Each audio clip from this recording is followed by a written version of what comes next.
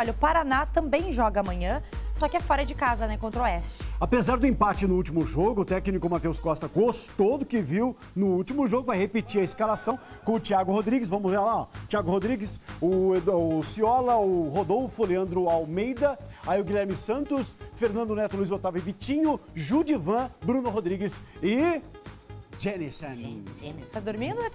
Gênesis. É Z com Z, é com Z. Passou o Zudivan e o Jenison, você não falou Gente, nada? não viu no C, Kelly, não te ouvi. E o Zozinho também? Sozinho, onde tá o Zozinho? Nossa, Zozinho. que isso, cara? Gente, vocês